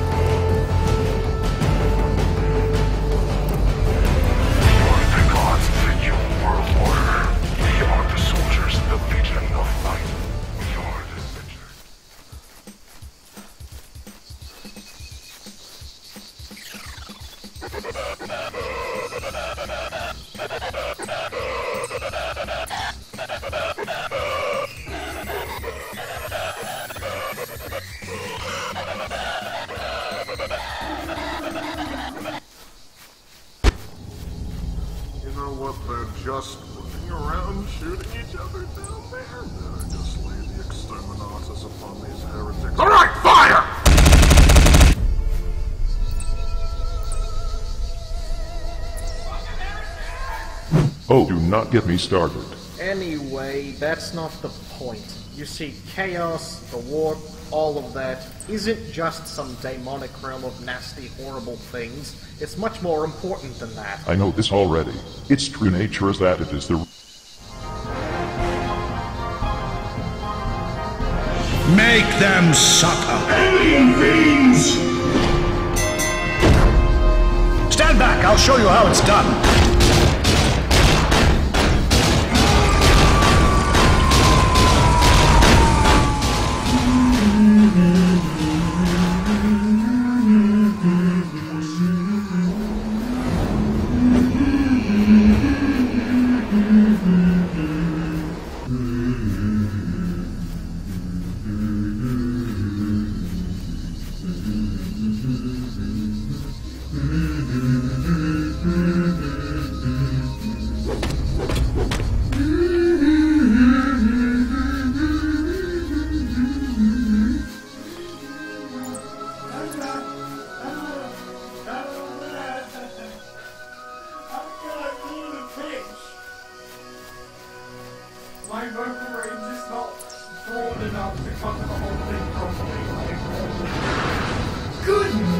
My emperor.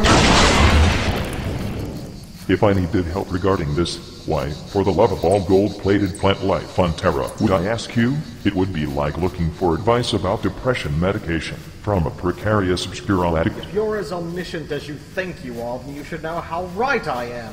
My experience in the matter does give me a level of expertise. After all, I'm a Daemon Prince for crying out loud. I'm literally made of warp stuff. One would think that after all the stunts you pulled, you would have some kind of discretion over the atrocious amount of shittery you have been spewing everywhere. If anyone has the right to say I told you so, then I should have set up a parade with banners and streamers and clowns and whatever else just for you. I'm not saying I told you so. I'm just saying that you and I both know damn well that you're ridiculously narrow-minded on the matter. It's just the way things are, and you know it. Son, I'm the motherfucking emperor. I can alter whatever I desire. I am like a glorious golden god. Except I am not, of course. And look where your meddling has gotten you. Oh, in addition, aren't you the one who said you didn't want to play God? That is my tirage coming straight from the vile warpent of a fucking demon prince. Do you know, there is a difference between actually having the powers and distinguished looks of a god, and wanting to be worshipped as one. Um, g- good morning, you two. Uh, I know you're busy stabbing each other with word chips right now, but... About guard smacking time you got here. Where is T Sunny? Well, it was disintegrated by a warp bolt when I walked into your room. Damn you, Magnus. Your unregulated psyker powers have caused yet another disaster. Me? You're the decaying force of nature who literally defecates warp storms whenever he tantrums. Uh, honestly, it, it doesn't matter. I'll just, you know, go and make some more tea later. to avert the creation of another Eye of Terror on Terra, I think I need to ask something. Well, that is what I pay you for, isn't it? What does pay me? But, um, yes. What are you two arguing about? My senile old bone sack of a father is almost as deluded as his foolish worshippers. He truly believes that chaos is nothing more than an utterly negative force which needs to be destroyed. In all my 48,000 years, I have not had much inclination to the contrary. Almost every single thing wrong with mankind is the fault of chaos, its gods, and their worshippers. If only humanity had listened to me and ignored chaos, and all the arm-wavy religious crap, we would be well on the way to perfecting humanity as a species, and I would be way less spooky looking. Wait, so you're not arguing about what happened yesterday? The whole sending the entire Inquisition to the wall and convoluted plans thing. No, we finished arguing about that hours ago. Were you not paying attention? You sent me to get tea. And you took your sweet ass time doing that, did you not? What were you doing? Trying to be all cheery cherry cream puff or something? Maybe? You scare me when you pretend to have emotions. So what did you decide on? None of your concern. Corn cob, it will all be resolved at a later date. Oh. Back to the Butchie Brannigan at hand. Where were we? You mentioned how you tried telling humanity to throw religions out a window, and ironically to never question you about it. Was it my turn to grumble or yours? I guess it's your turn to grumble. Go ahead. What is so funny, chuckle shits? I thought we were grumbling here. Your great intellect really must be splintered. I have no reason to lie to you, so before you spew that whole noise of the heretic drivel at me, I am not some crazed old zealot from the first Dark Ages, son. Do you know how I feel about overuse of such terminology? haven't you noticed what a spectacular comeback that word has made as of late?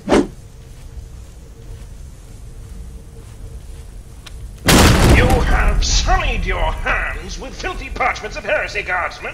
How do you plead? What? No! Too late, heretic. You inspire your men to study such foul smut, Commissar? You heretic! Detestable mutants fill your heads with such vile obscenity! Die, heretic!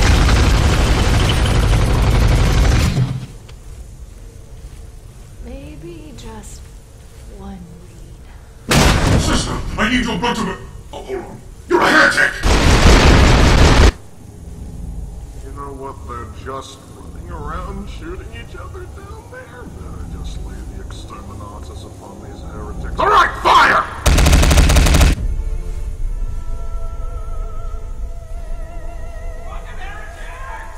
Oh, do not get me started.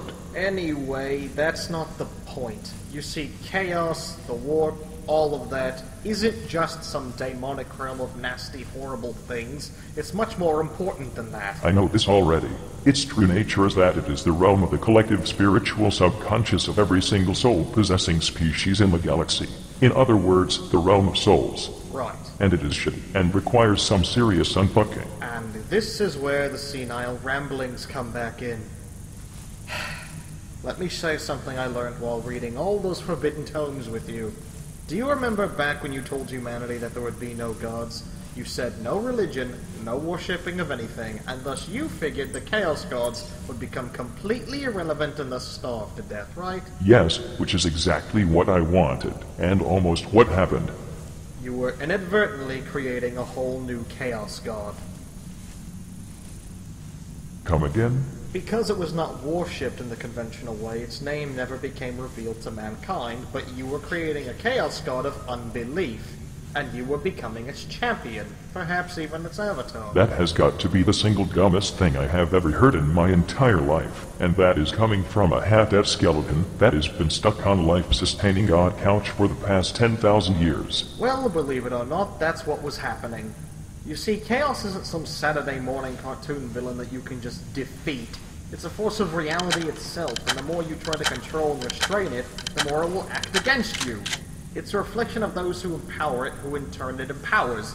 Just as gravity dictates how objects are pulled towards each other and energy condenses into matter and form, so too does chaos function as yet another celestial process. You should know and accept that by now. That is all well and true, but that does not make it not dangerous, stupid, dangerously stupid, and stupidly dangerous. You should also know and accept by now that things which are factually correct can still be unfathomably idiotic. Well, I suppose you're right in that sense. Ever since Slaanesh was murder fucked into existence, things have kinda got out of hand. Hands off my quips, chili pepper. Get your own. Can I possibly ask something? You are paid by the hour, not by the question. Right, but if what Magnus is saying is true, which it is, and the warp is a reflection of the subconsciousness of all mankind, does that mean we're all horrible, terrible, awful people? On the inside, yes, absolutely disgusting. I am outside of that cycle, you see, so it does not apply to me because, do you know, I am pretty much perfect and all that, or I used to be anyway when I still had good old boners done. But yes, this is why I have been trying to guide mankind all this time. Humanity gets to collectively create its own realm with their subconscious thoughts, and you fill it with paranoia, fear, blood, Brussels sprouts, and self-contradictory bullshit. It is like you are all mindless men children, scribbling dicks in your notebooks when you should be paying attention to the lessons that I am trying to fucking teach you. Those students and you have perfectly synergetic personalities, for the record. Oh. Now I feel terrible about myself. Like, worse than ever before. Good, that is a step in the right direction. But I don't understand. If the warp is the realm of souls, then how do psykers work? Aren't they using witchcraft and demonic rituals to attain unholy power? To the ignorant and untrained eye, it would certainly seem so. However, it's actually much simpler than that. Some people have a natural ability to channel the warp's power more than others, just like how some people have other genetically determined talents or abilities. Since a warp is based on the power of emotions, one can use this ability to channel their own willpower and bend the world around us. Just as we change the shape of the warp with our own minds, so too does the warp allow those talented enough to change reality. What did I say about fireballs in the throne room? Yes, yes, I need to ask you first.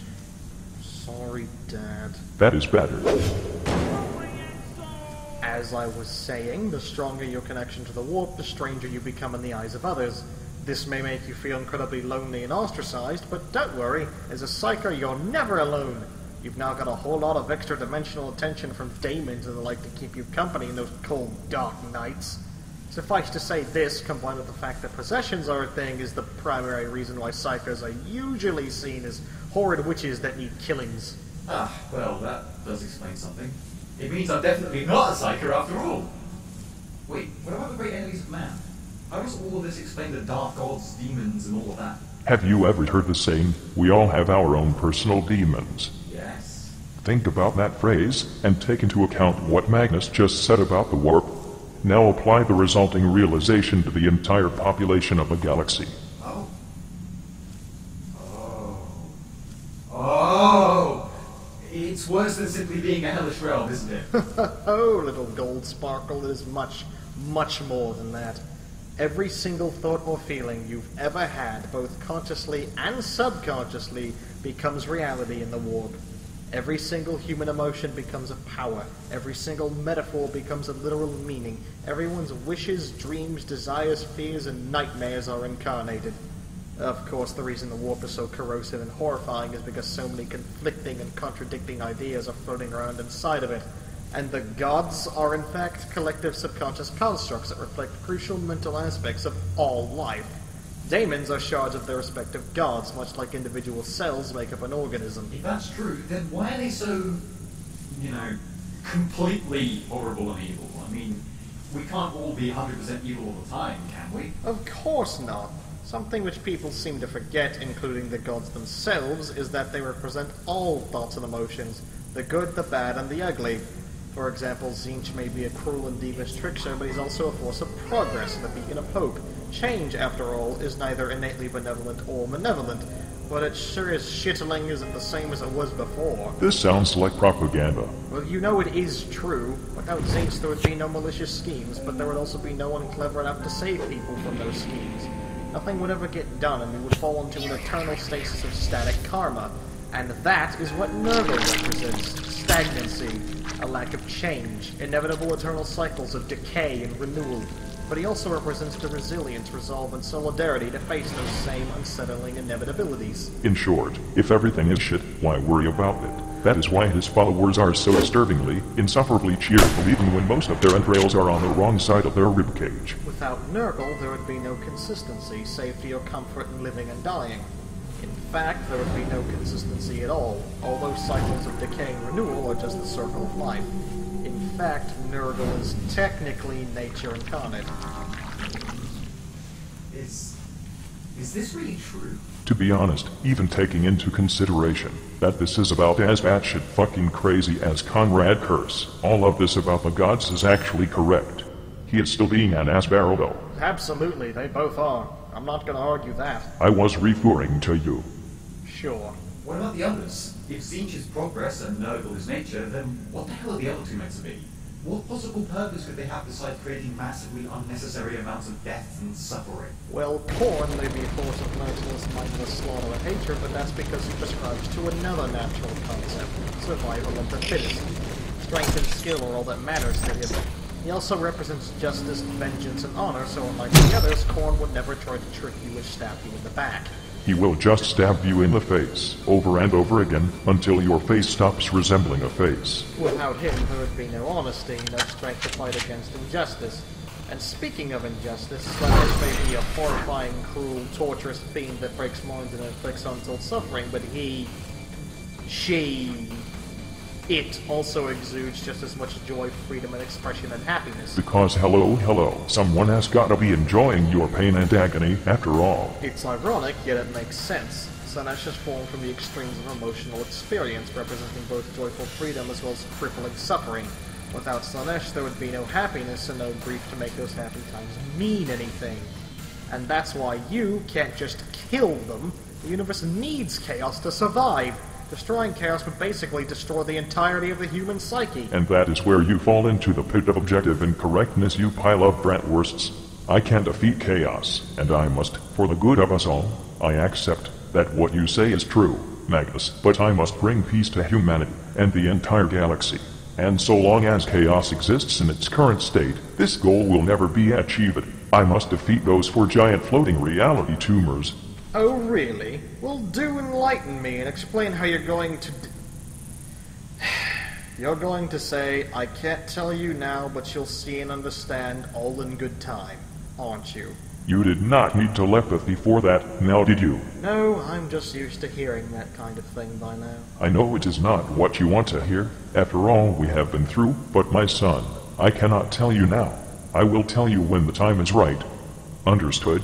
Didn't you say that no curtains were to cover up your plans for the future this time around? No, seriously. If I told you this, it would totally ruin the surprise. Not to mention the risks involved. Well, alright. But just for this one occasion. Thanks, son. Just trust me this time, and do not let a flying space octopus convince you to turn on us all again, okay? Okay. So, if you knew all this, why did you fall in chaos at all? And being all demonic and stuff?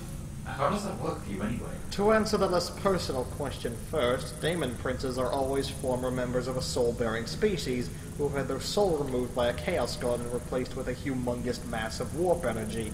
This turns their bodies intangible and charges them with infernal power, basically turning them into a daemon. These kind of surgeries should be universally illegalized. Anyone or anything that undergoes this process must have great amounts of willpower to retain any of their personality. If they don't, they become mindless chaos spawns. If they succeed and survive the process, well, it's hard to explain. Since warp energy is basically just raw, undiluted, and unrefined soul stuff, it serves roughly the same purpose as a soul, with the benefit of being way more powerful, at the expense of being way less stable.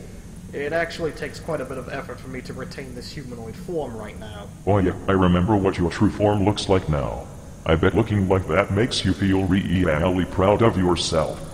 Dad, we agreed not to talk about that. About what? Nothing, not a thing, nothing at all. And this was the less personal question? Changing the subject, now that I have my soul back, I feel weird.